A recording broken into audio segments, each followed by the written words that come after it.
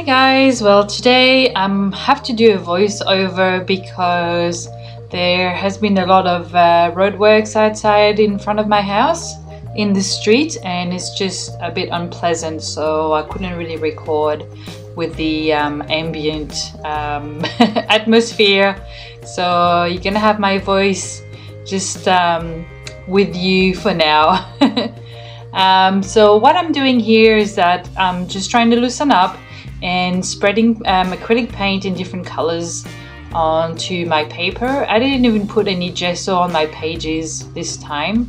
I didn't feel it was necessary and um, it's kind of bulking up my pages in my Moleskine art journal so I try not to gesso the pages if I can help it. And I know that I'm not going to do anything too thick or um, too wet so that should be alright. So here I am blending in some orange, magenta, turquoise and purple and later on a little bit of yellow.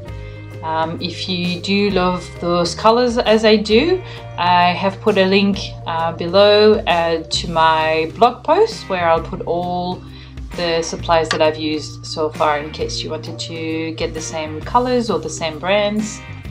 So there'll be a link below and I'll also put it at the end of the video for now. I'll just keep going, spreading my colors and just having a blast really. It's just so much fun feeling like a two-year-old or maybe three, I don't know. What time do you start painting? Is there any age restriction?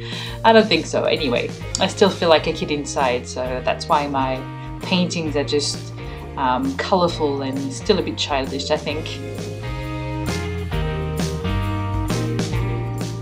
Drying the pages for now and then I'm using a little piece of um, kitchen sponge, just a, a, little square of it, and just dipping in my paint just to create a, a, bit of texture and lets me add the colors gradually. So I really love using this technique.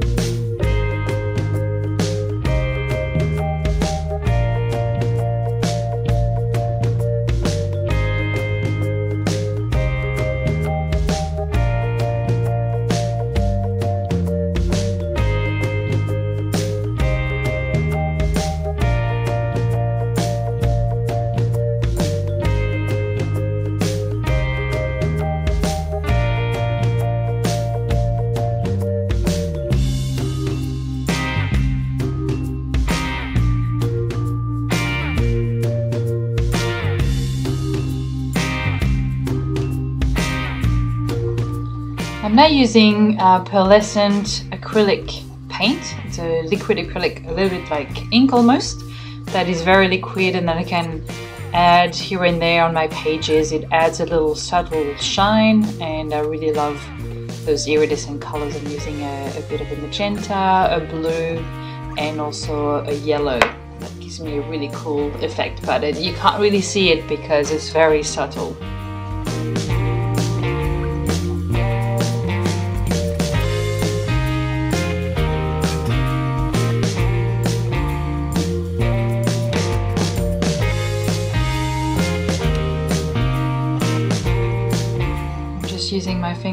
Finger to spread it. That allows me to control how much I want and where.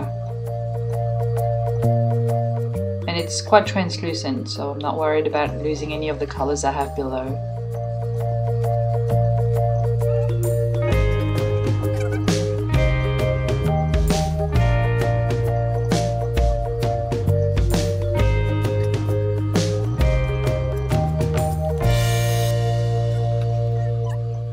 A little close up even though it's a bit hard to see. Next, you know me, I love adding um, glittery things and shiny things so I'm using my silver ink pad to add a little bit of texture and detail with a, a small stamp. And I have a few designs um, in that sort of um, little round circle shape of stamp so I'll, uh, I'll use that just to add a bit of um, interest.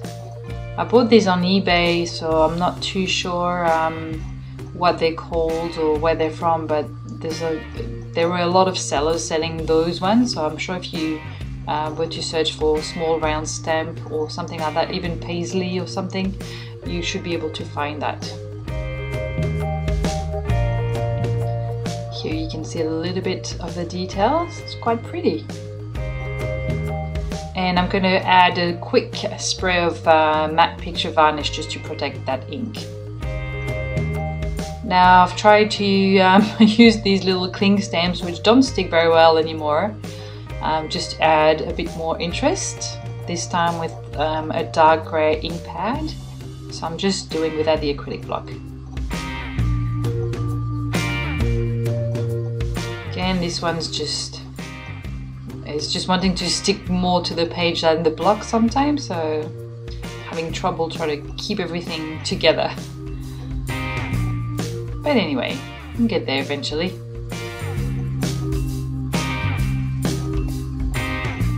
Using a larger stamp, again to add a bit more interest in the dark grey. I'm just um, loving this texture that it's creating here. Really, really cool.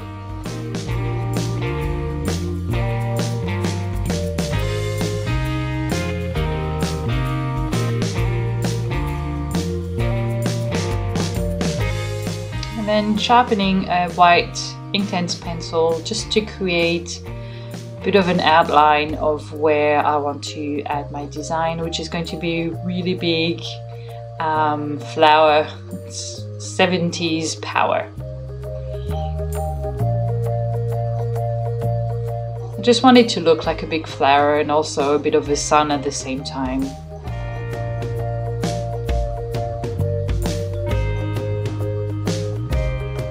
I'm not going to uh, wet this um, this ink that I've just applied. It's just really the best tool I had nearby to create a basic outline.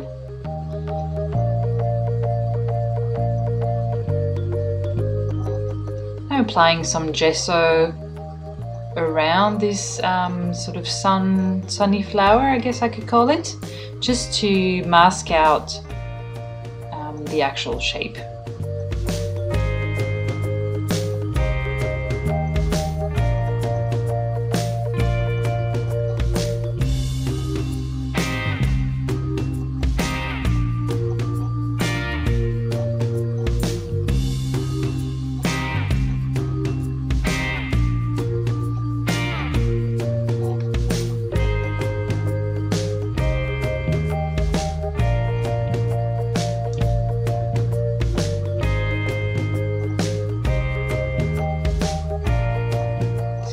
Tricky in the middle of the of the book because of the the stitching and, and the fold there but just have to work around it. So that's now you can see the actual shape a little bit better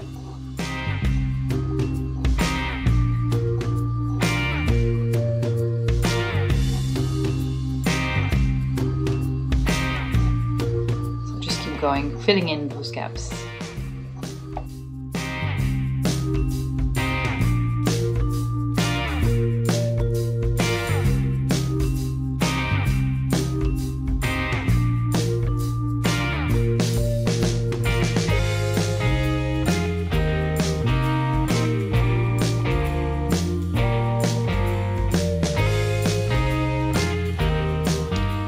Originally my plan was to do the this background area in white and leave it like that.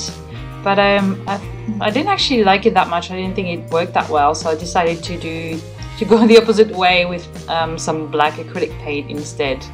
And I think you'll agree at the end that it just works so much better. especially because there's a you know there are a few little black details um, in the original layers so it just it just seems to work better. So I'm just going to fill in all those gaps once again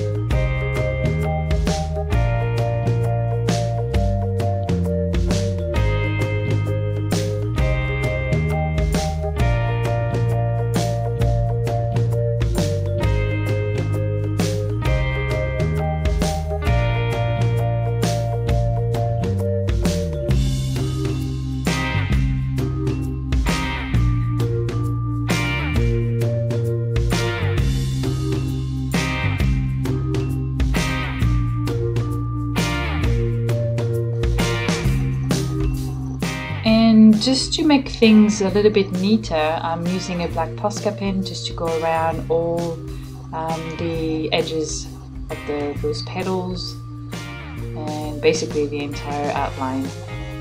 It looks a little bit neater now.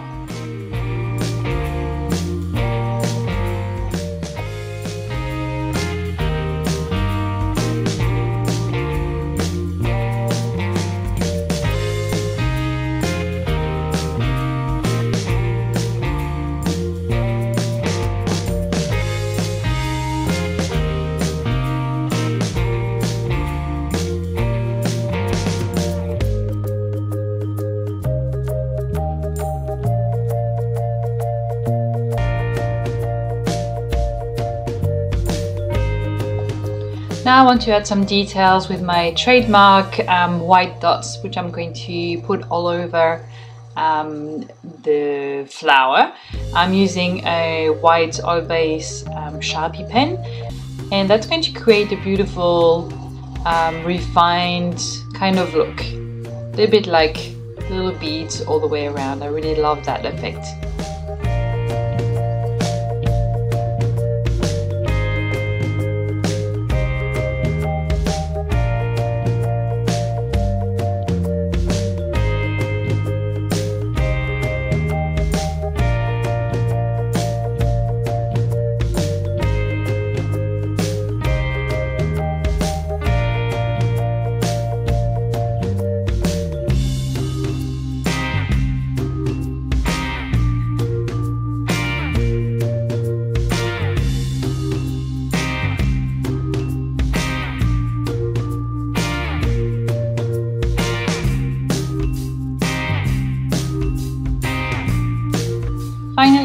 Adding some little white doodles so the, uh, the background doesn't look too black and too flat, just so extra interest is added here. Um, not thinking about anything in particular, just having fun with some little white doodles and a white gel pen. So, so far I hope that you haven't been bored by my voiceover and um, I hope that you are finding some inspiration from my two pages here um, if you create anything from it definitely send me a picture. I'd love to see what you've what you've made. If you haven't subscribed yet I'd really like it if you would. And just join a little uh, painting tribe here. I'm hoping to create a, a really fun group um, where we can hopefully share tips with each other and learn and inspire each other